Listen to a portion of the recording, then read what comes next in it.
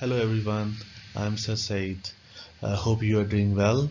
We are going to start some questions of paper Feb March 17 paper 1 2 and these are the uh, these are MCQs. Let's start.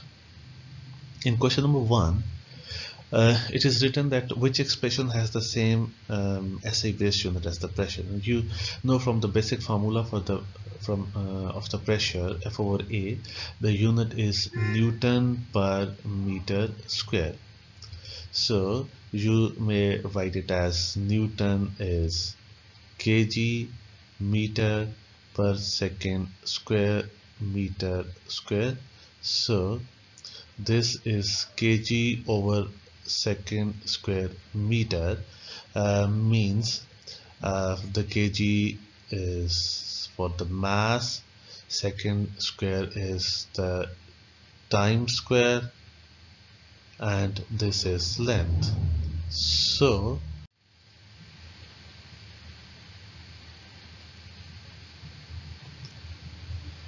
mass length time square.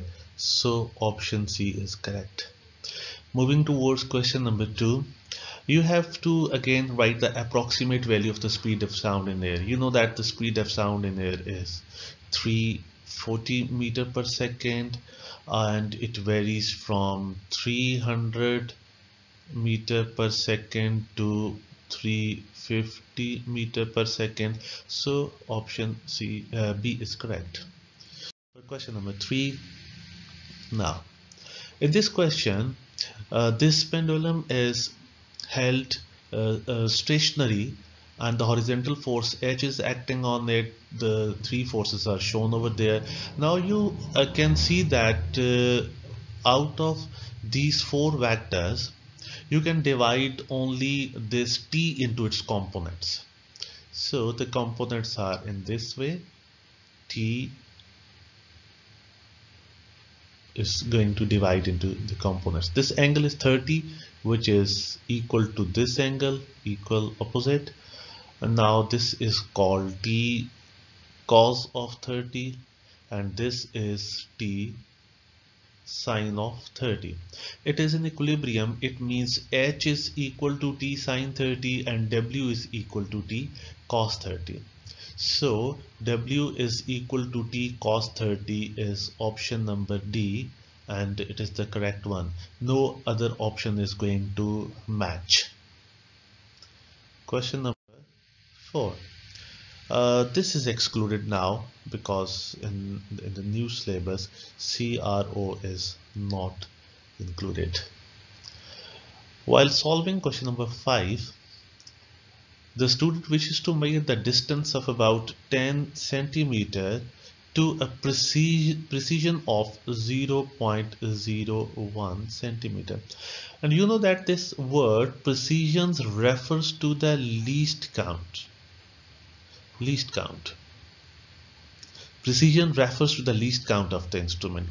For example if the instrument has the smaller least count it is more precise like uh, 0.01 millimeter is the smaller least count. It will give more precise readings. Anyhow which uh, measuring instrument should be used? So we have to check that the measuring which measuring instrument has the least count is, is equal to 0.01 centimeter and it is Vernier caliper yes option D is correct. Option D is correct. For this question number 6 an aircraft initially stationary on the runway it means it's going to move in this way initially it's zero. And uh, when it takes uh, off it's 85 kilometer per hour. And its distance is 1.20 kilometer.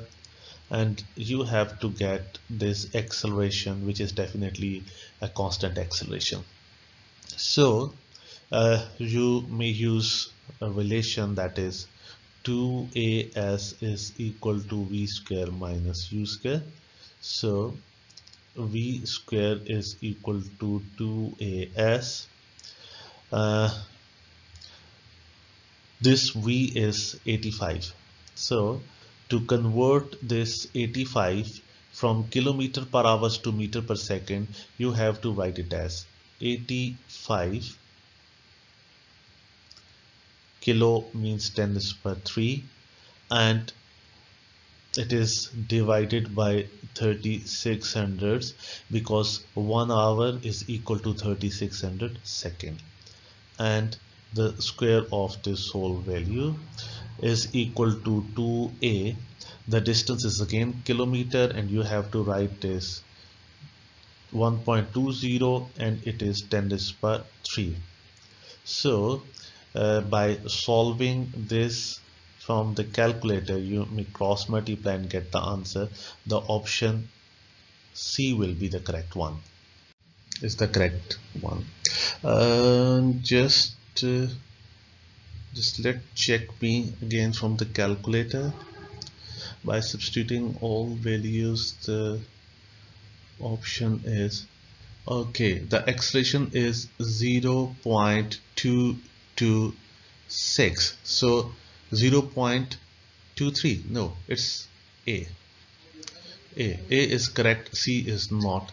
A is the method is same just solve it by uh, using the calculator cross multiply you can get the answer. Option a is correct. The answer is 0.23 meter per second square now question number seven. The question number seven is in fact the average velocity. To get the average velocity you know the relation the total displacement over total time. So v average is total displacement over total time. The total time is 15 second it's written. Total displacement is this displacement plus this displacement. The displacement is coming from the area. So this is 3 into 10 is 30 plus this is 5 uh, into 6 is again 30 but the directions are opposite so you have to put a negative sign here. These are cancelled and the answer is 0 so option B is correct moving towards this question this is simple question. The acceleration of free fall of the Pluto is given. Uh, an object having weight of 6 Newton on the earth. So this information is used to get the mass. Because the mass is same whether a body is on the Pluto or on the surface of the earth. W is equal to mg. This W is 6 this is m and g is 9.81 so the mass is 6 divided by 9.81 and uh, the weight on the Pluto is mg the mass is same that is 6 by 9.81 and the g is different on the Pluto that is 0.66 by substituting all these values in the calculator your answer is 0.40 Newton. So option A is correct. For this question number 9 look at this question. We have a pipe here and the water with the velocity v is coming out from this pipe and going to strike on the wall the cross-sectional area is a. Uh, when the jet of the water hit the wall it has the horizontal velocity v the cross-sectional area is a. There is no vertical motion involved. The density of water is this and the water does not rebound from the wall. It means the water is not coming back the water is not flowing downward uh, what is the force exerted on the wall by the water? So you can get this force by the change in the momentum because mv over t uh, look at here. If we have mass is equal to volume into density speed and time. This capital V is the volume. Density is equal to mass over volume. So you know that if we multiply speed with the area its unit is meter per second and its unit is meter square. So the unit shows that meter cube over second means volume over time so here at volume over time we may write V into A and rho the V. So this V is multiplied with this V to give you V square. So rho A V square is the force. So option D is the correct one. This is the trick at this question for question number 10 here. For question number 10 uh, this is again a stationary firework explodes means the initial momentum is zero. And then it is going to divide into the fragments. Uh, for example we divide this uh, v1 and v2 into the components because the mass is given so we can divide the momentum into the components.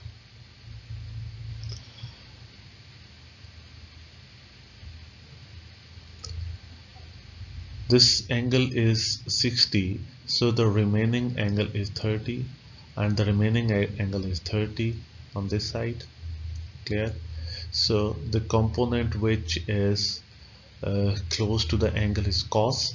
So this is called v2 uh, multiply with mass 50 multiply with cos of 30 and for the other component it is v1 multiply with 50 we are going to multiply 50 with v to get the momentum and not going to change the unit because by comparison the unit on both sides will cancel because here we have the unit gram as well.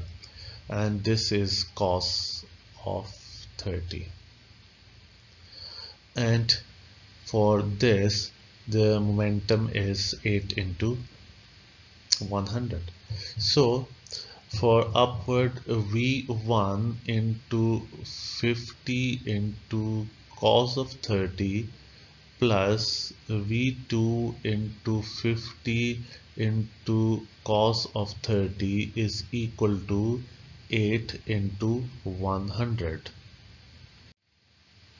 okay. Now uh, from this table we can see that the velocities are same. In option A B C D v1 and v2 are same. So these two velocities are same. So we may write uh, v is equal to v1 is equal to v2 so these are the velocities v. So this is now going to add that is 2v into 50 into cos of 30 is equal to 800 by solving all this from the calculator this is 86.6 V is equal to 800 so V is 800 over 86.6 the answer is 9.2 meter per second. So option B is correct In question number 11, the spherical object falling through the water at a constant speed. Oh, constant speed means the sum of upward and the sum of downward forces must be equal. Uh, these forces act on the uh, three forces are going to act over there which diagram shows these three forces to scale means diagrams to the scale is correct okay look at here.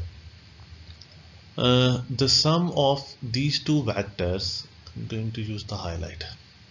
The sum of these two vectors is looking greater than this one so this is not the correct option.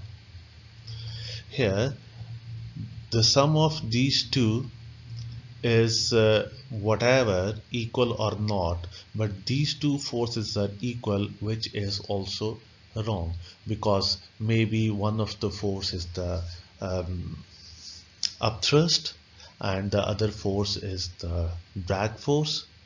Uh, so these forces are not equal so the options are wrong. And in this uh, when we add these two vectors according to the scale like this one this is smaller than this so it's wrong.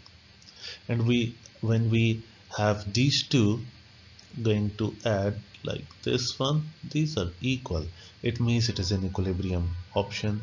B is the correct one. For question number 12 again a uniform meter rule of uh, 2 Newton. It means there's a force of 2 Newton acting here at the center. This one and uh, there's a mark 60 on which we have pivot. 4 Newton load is acting over there. To one end causing the rule to rotate about. At uh, the instant when the rule is horizontal what is the resultant moments so you have to get the resultant moments resultant moments means we have to subtract clockwise and anti-clockwise moments for this force it will rotate in this way. For this force it will rotate in this way. And the moment arm is this one and this one. So this moment arm is from 50 to 60 it's 10 centimeter and it is 60 to 100 is 40 centimeter. So 4 multiply with 40 centimeter the clockwise movements is equal to 2 uh, multiply with 10 so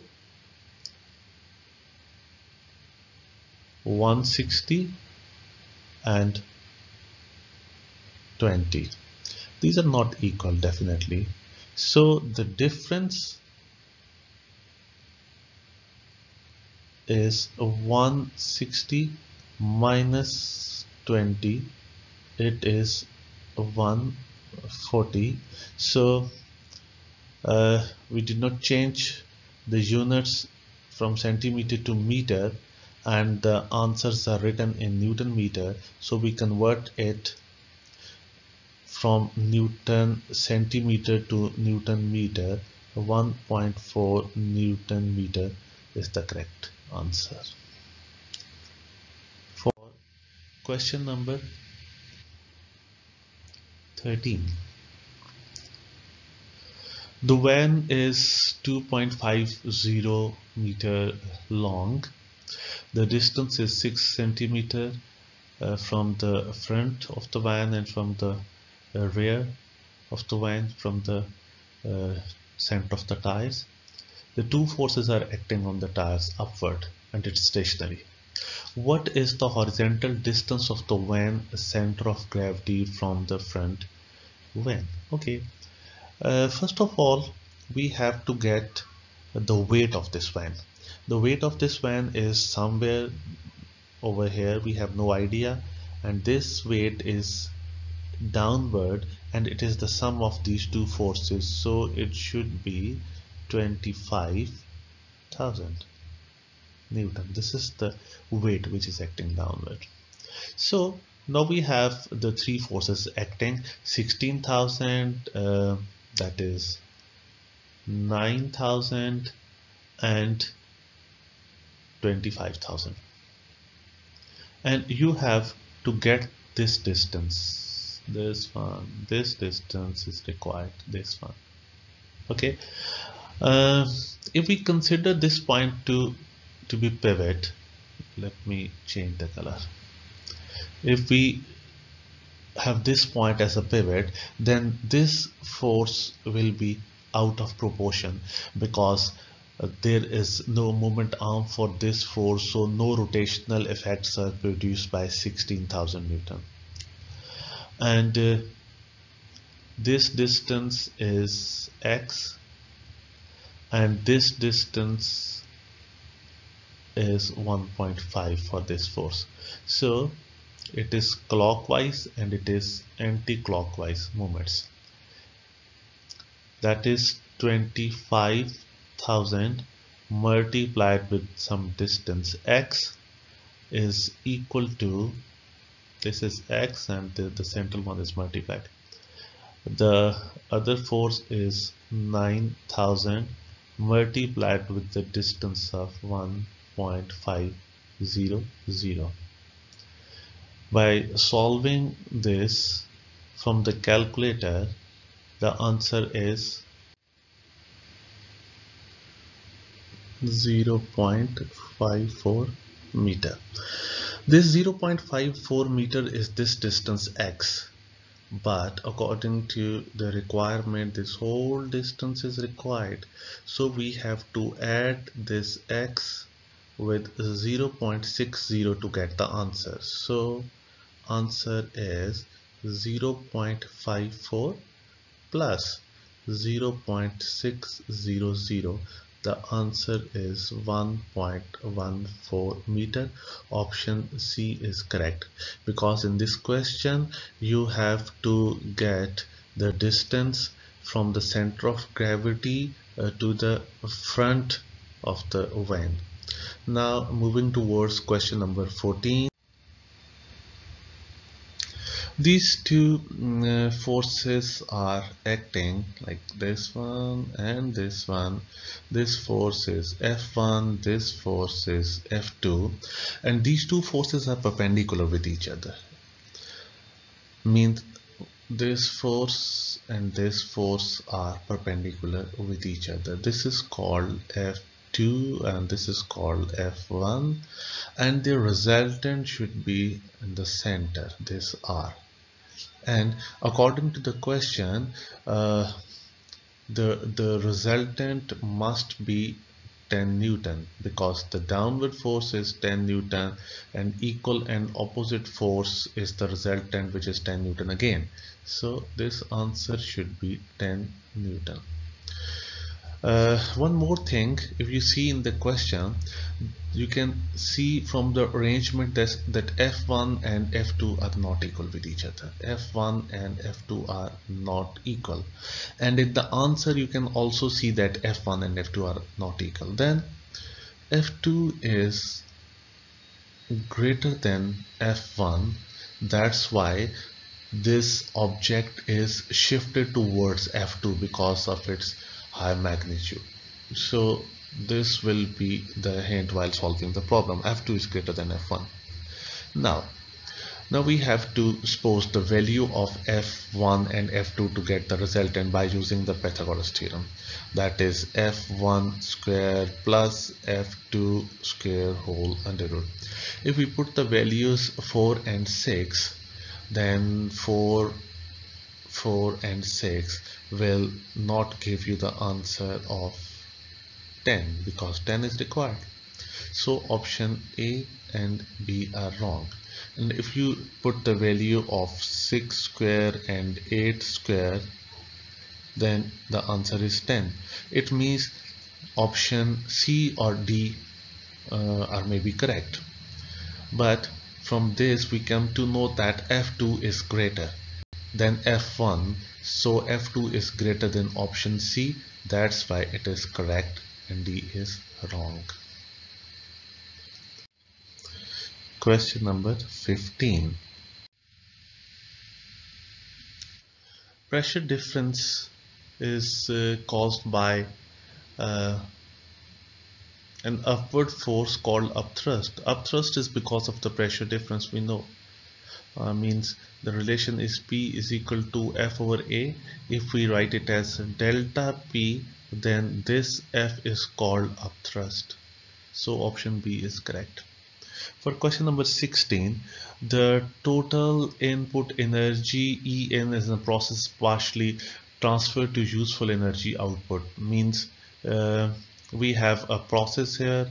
The input energy is you can say En and uh, the useful output energy is U and the waste wasted energy is W. This is useful output. What is the efficiency? So we know that it, the useful output divided by input is 200. Straight away option A is the correct one and option B was correct.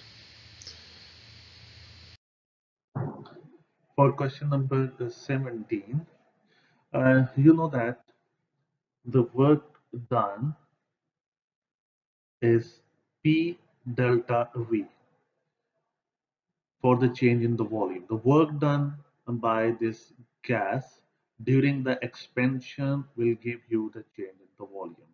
So initially the volume was V2, now it's V1 and uh, that's why P is V2 minus V1 the change in the volume and this pressure is always constant.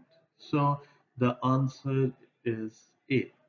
Now for this question this question is related with the projectile motion. We know that the two velocity components are acting on it. One is 23 meter. This is 23 meter per second. And the other is 10.1 meter per second. So if you want to get the resultant speed, then get the resultant like this one. So we write it as V is equal to 10.1 square plus 23.0 square whole under root by solving it you can get the answer which is 25.1 meter per second. So this is the correct answer. But uh, one more thing is that uh, he asked about the speed of the projectile uh, and we solve it by the vectors which are uh, the velocities in fact. Uh, because at this point the resultant is in this way and its direction is not important while solving the problem. So if we get some angle here then we can say that it is the velocity means making some angle with horizontal or vertical and the procedure is same while solving the velocity or the speed now moving towards question number 19 Initially, the mass is 1400 kg and the speed is 25, which is constant. So the output power of the car is this. Just change the color. Okay, uh, while moving uphill with the same constant speed of 25, some extra power is required because it's moving uphill with the angle of these two. So if it is moving in this way, means it is acquiring some height. If this distance is say h, then this is called h sine theta. So the energy is mgh sine theta and if we divide this energy with the time you can get the power which is equal to the extra power which uh, is required for this car while moving uphill. So this h by t is v, hence mgv sine theta is the power. So by substituting the values, it is 1400 into 9.81 into 25 into sine of 2 degree. The answer is 12.2 kilowatt. So this is the extra power and now the total power is the initial power plus this one so now the final answer is 30 plus 12.2 is 42.2 kilowatt. That's why option C is correct. And you may solve it like this one.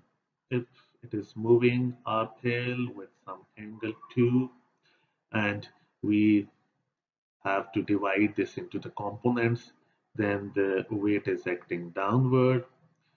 Uh, one of the component is this and the other component is this. So if it is mg, then that is this is called mg cos of 2 and this is mg sine of 2. So the same force is required in this way because it is moving with a constant speed. Hence, by using the formula P is equal to FV, now this is used over here. That's why this power is mg sine 2 into V. And by substituting the values you can get 12.2 kilowatt and add into the initial power. So 30 plus 12.2 is 42.2 42.2 kilowatt. It means you have the same answer by these two methods. Now moving towards question number 20 question number 20 we have two wires. This one and the other wire is this one. This is called x. This is called uh, y. Are made from the different metals. The young modulus of x is twice. It means its modulus is 2e because its modulus is e.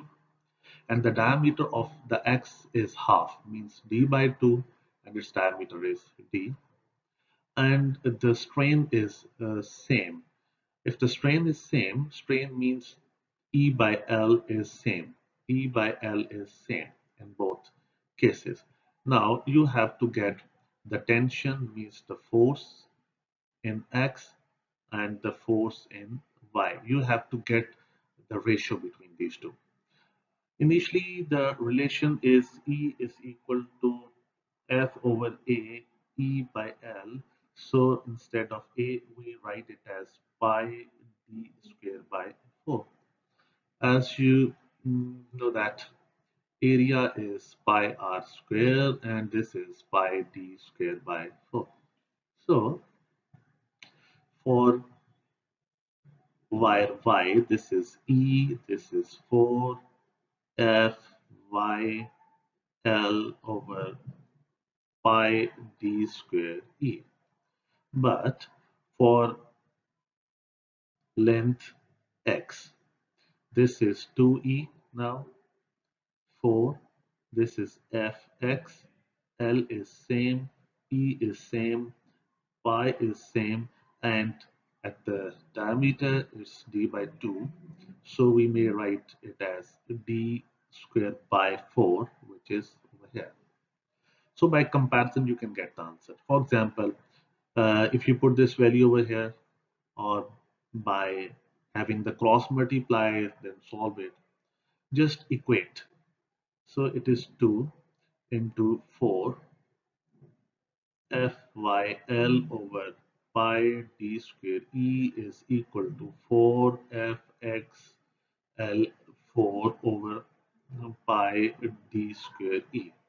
So these are now cancelled here cancelled this 4 is cancelled with this one length is cancelled so we have 2 fy is equal to 4 fx so fx over fy is 2 divided by 4 is equal to 1 by 2 so the ratio between these two tensions is 1 by 2 that that that's why the option B is correct. Moving towards last question 21 half of the paper is done. Here there's a weight of 1 to 0 kilonewtons placed on the top of the metal column. So this is the metal column this way. And the force at the top is 1 to 0 into 10 to the power 3 Newton. The length of the column is compressed. Compressed means this is the change in the length. There is a compression. It means it is placed on a very hard surface. It's a very hard surface. Uh, the change in the length is 0.25 into 10 to the power minus 3 meters. I'm writing all the SI units here. How much energy is stored? It's very simple. You know, two relations of the energy that is half k e square and the other one is E stands for energy here half f of E. k is not known so we have to use this one. Uh, 1 over f the force is 120 into 10 to the power 3 and the extension or the compression is 0.25 into 10 to the power minus 3 by solving all this from the calculator, you come to know that the answer is 15,000 means 15 kilojoule.